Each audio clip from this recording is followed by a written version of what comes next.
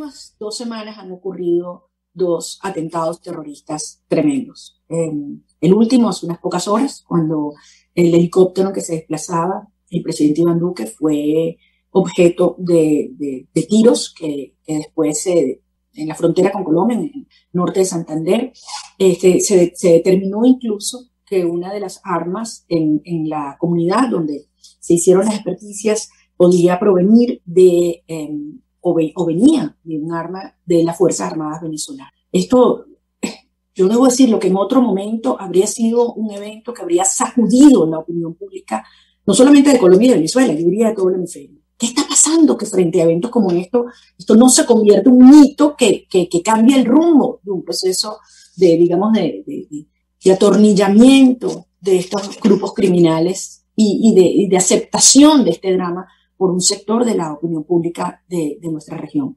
La verdad, doctora María Corina, es que a nosotros nos asiste la misma preocupación. Colombia viene enfrentando en los últimos meses un embate criminal contra la estabilidad eh, del gobierno, contra la estabilidad del Estado, de las instituciones. Nosotros tenemos una preocupación muy grande, como bien lo dice usted, entre todos los ataques terroristas que hemos sufrido en las últimas semanas y en las últimas horas, uno muy grave, pues seis impactos, seis disparos contra el helicóptero donde se transportaba el presidente de la República de Colombia, el ministro de Defensa, el ministro del Interior, ya se han adelantado 45 entrevistas judiciales, hay 160 horas de grabación de 22 cámaras, se han hecho cientos de estudios de criminalística, hay 84 investigadores encargados de esta operación para poder esclarecer los hechos. Como lo dice usted, eh, ya se encontraron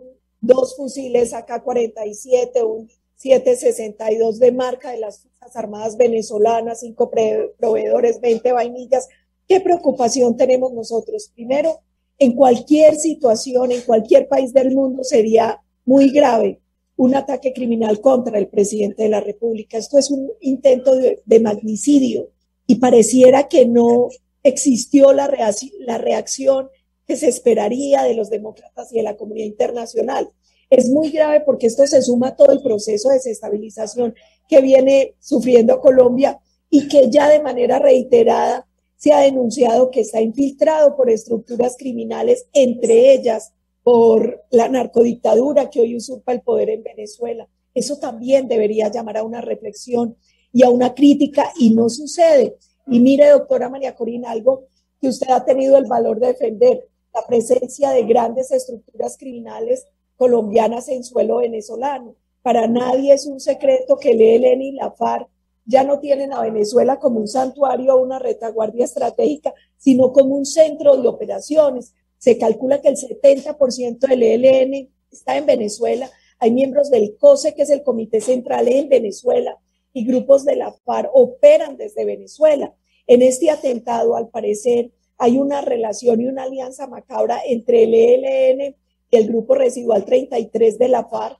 Parece que ellos están detrás del atentado y lo grave, vuelvo y repito, es que ellos están operando desde Venezuela y que hoy este es el gran centro de operaciones de estas dos y otras tres grandes estructuras criminales colombianas. Ahora, si efectivamente se comprueba, eh, como todo parece eh, así indicar, que, que, efectivamente fueron armas del ejército venezolano los que fueron utilizados contra ese sentado. Imagínate, Paola, si la situación hubiese sido al revés. Si Chávez o Maduro hubiesen sufrido un atentado eh, con armas del ejército colombiano, lo que hubiera ocurrido y quiénes hubieran reaccionado.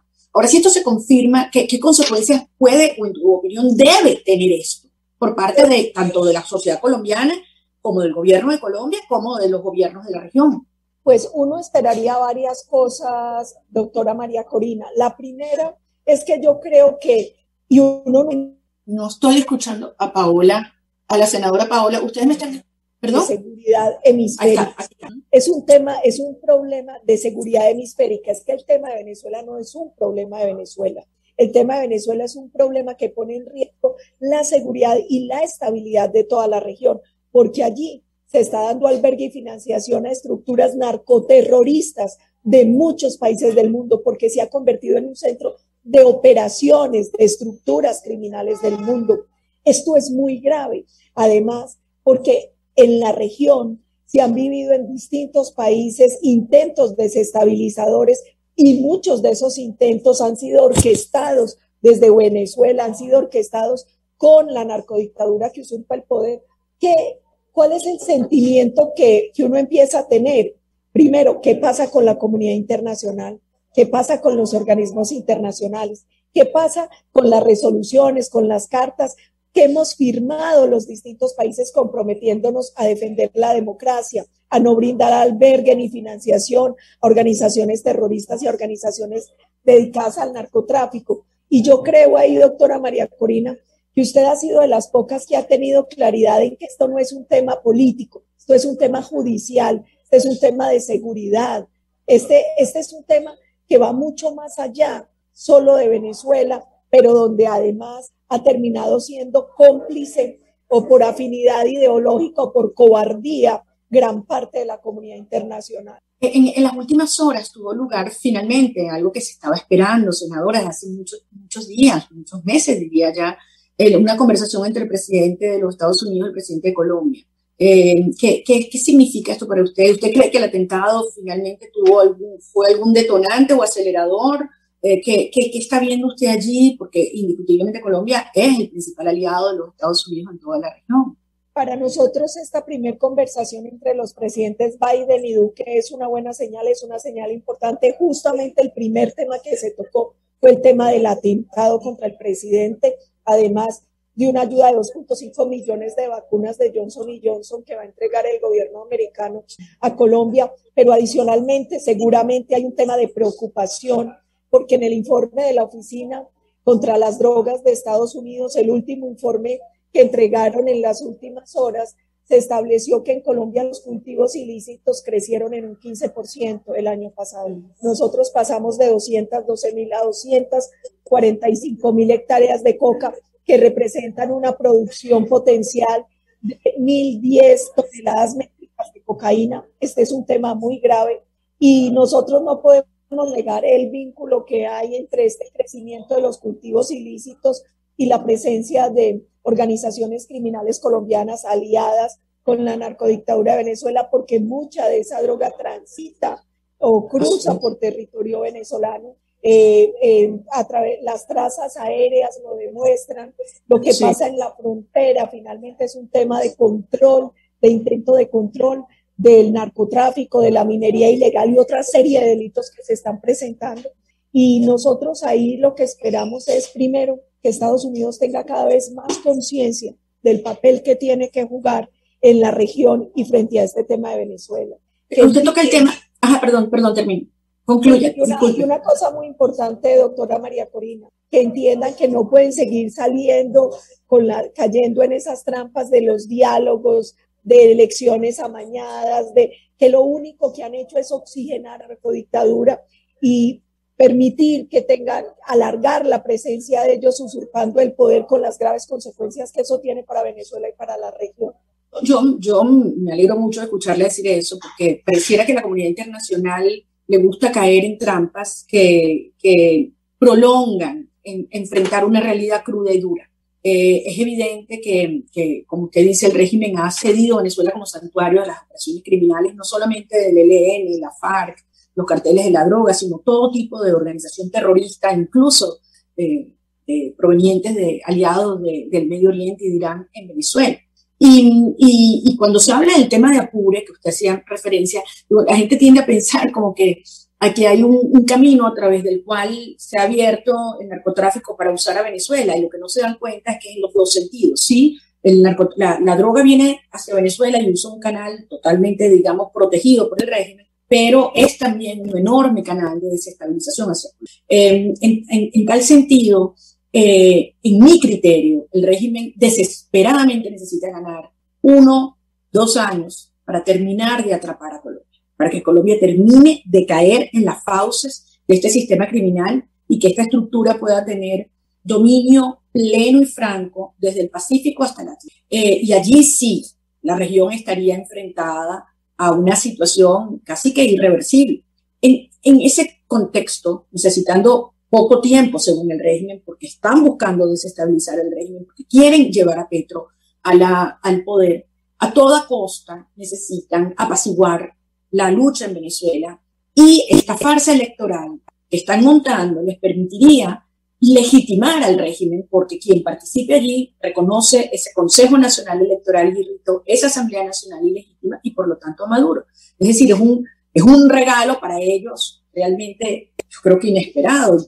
¿Por qué hay hoy en día una comunidad internacional, llámese el señor Borrell en la Unión Europea, llámese algunos países de la región, que entendiendo esto, porque lo entienden claramente, callan, porque son solo voces como la suya la que se eleva con tanta claridad ante un riesgo de esta magnitud. Eh, yo creo varias cosas. La primera es que se ha impuesto una moda de una especie de dialoguitis, donde se cree que ser demócrata es dialogar y dialogar sin puntos rojos. Mire, el diálogo se da entre demócratas, el diálogo no se da con criminales. Eh, uno no entiende, eh, y en parte yo creo que es por algo que usted señalaba, doctora María Corina, y es que hay realidades tan abrumadoras que ellos no tienen el coraje para querer entender y enfrentar. La otra cosa es que se ha convertido en moda la complicidad, eh, la afinidad ideológica que termina en complicidad criminal. Entonces, muchos gobiernos de tendencia de izquierda o manipulados por partidos de izquierda caen en la trampa de creer en este tipo de salidas, que no son salidas en realidad, usted lo ha dicho bien, un proceso de diálogo o un proceso de elección bajo el marco que vivió hoy Venezuela, para lo único que sirve es para legitimar lo que no tiene legitimidad, para negociar unas migajas de participación en el poder que terminan siendo una vergüenza porque usted termina siendo cómplice y cooptado por un régimen ilegítimo, por una narcodictadura. Y ahí lo que se termina es condenando eternamente a Venezuela a vivir bajo este yugo. Yo creo que Ahí eh, de pronto a los demócratas nos ha faltado el suficiente coraje o la vehemencia para hacer entender lo que está en juego, lo que representa para Venezuela y para la región esta situación.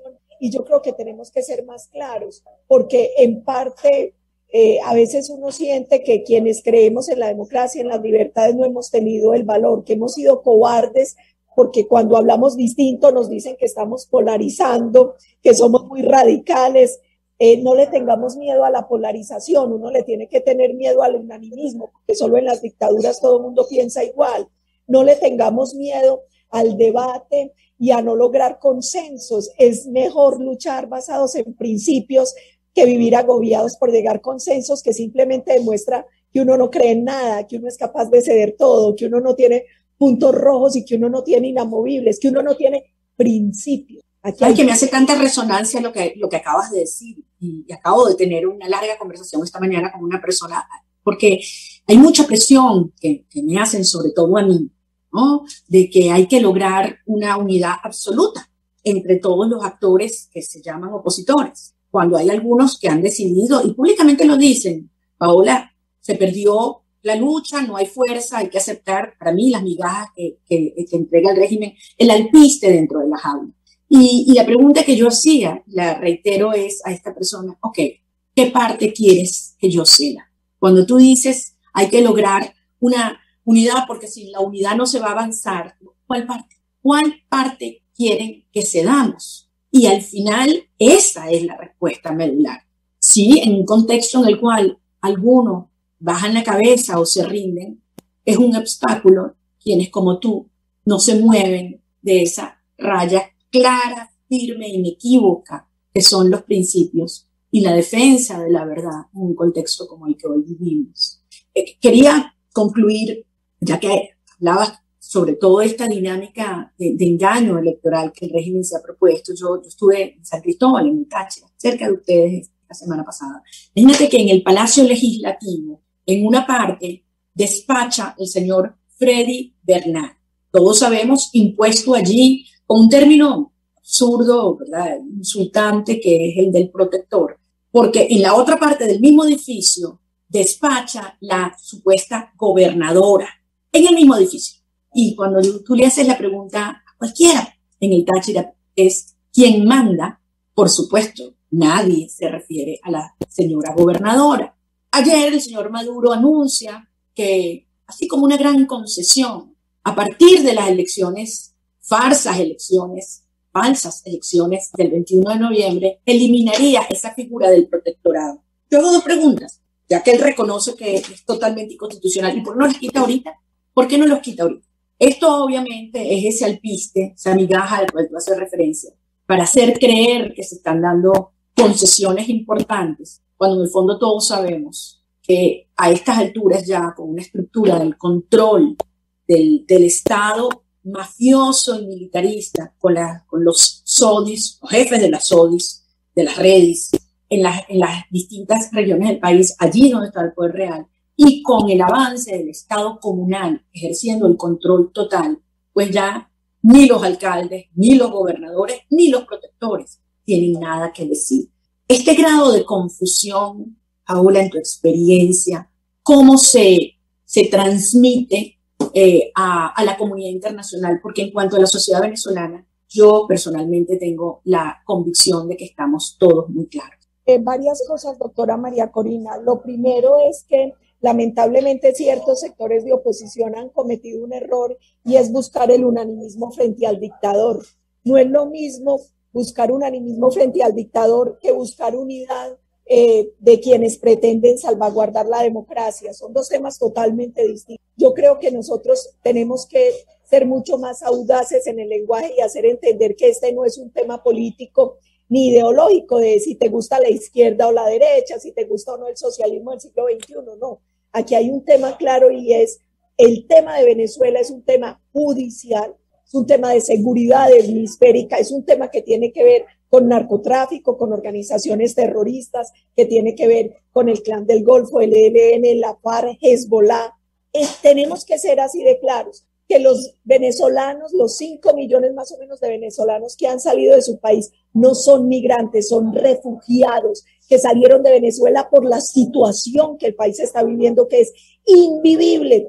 Y lo más importante, la comunidad internacional, y yo se lo digo, Doctora María Corina, yo he acompañado durante 17, 20 años la lucha de la oposición en Venezuela y usted es de las únicas voces en las que todavía creemos en la comunidad internacional. Lamentablemente, la comunidad internacional también se ha sentido frustrada por esos, eh, por esa, llamémosla, cobardía de los sectores de oposición que creen que se tiene que negociar con la narcodictadura, que cree que se tiene que apostar por unas migajas, que el tema es de participación política. Aquí el tema no es de participación política, aquí el tema es de recuperar el país para los venezolanos, para la democracia, para la libertad, arrebatárselo a la estructura criminal que los mantiene sometidos. Ahí no hay nada que negociar, ahí no hay nada que dialogar. Aquí lo que hay que tener es firmeza y convicción, la que usted ha tenido,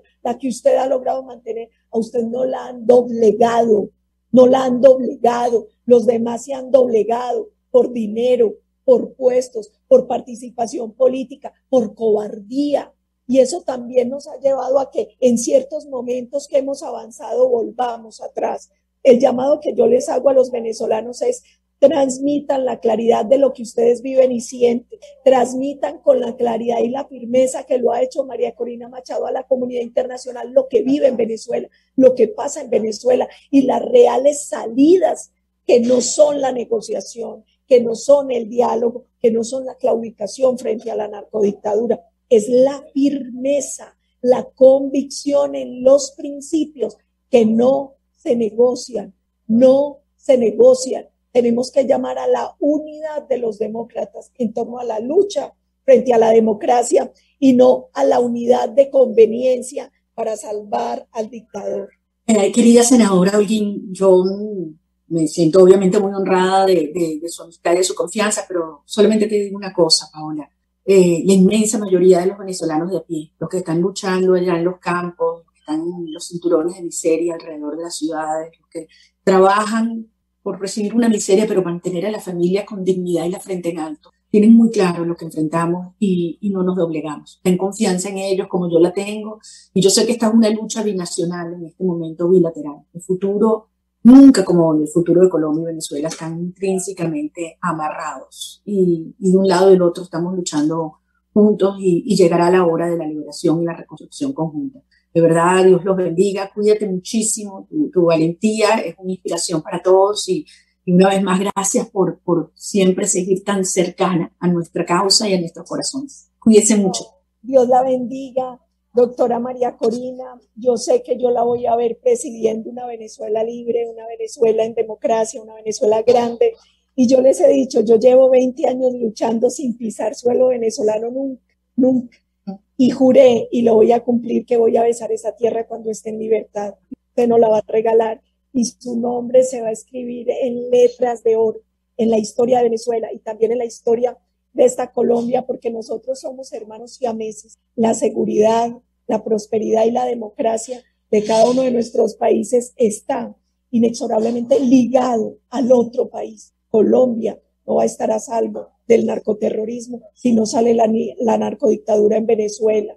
Ustedes no van a estar a salvo si las cinco estructuras criminales colombianas no dejan de operar en su territorio Recuerden que los criminales no tienen límites ni éticos ni fronterizos y ellos que han martirizado y llenado de sangre nuestro pueblo harán y hacen exactamente lo mismo hoy en territorio venezolano. Sí es, sí tenemos muy claro cuál es nuestro deber y nuestra responsabilidad histórica hacia nuestras respectivas naciones y digamos hacia todos los valores y las naciones de Occidente. Gracias, querida senadora. Un fuerte abrazo y cuídense muchísimo. Dios quiera que podamos vernos muy pronto. Dios la bendiga.